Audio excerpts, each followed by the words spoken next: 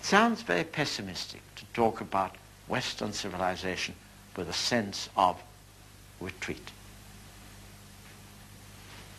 I've been so optimistic about the ascent of man. Am I going to give up at this moment?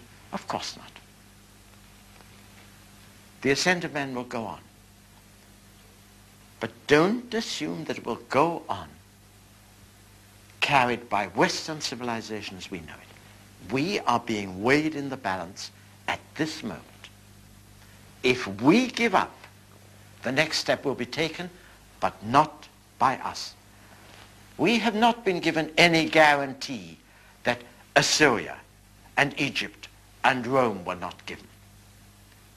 We are a scientific civilization. That means a civilization in which knowledge and its integrity are crucial.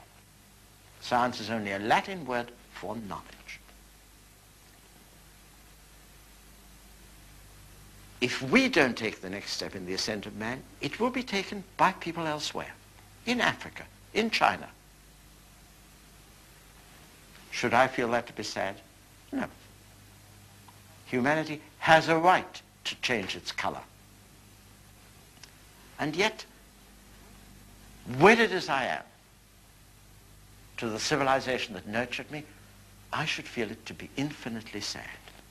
I, whom England made, whom it taught its language and its tolerance and excitement in intellectual pursuits,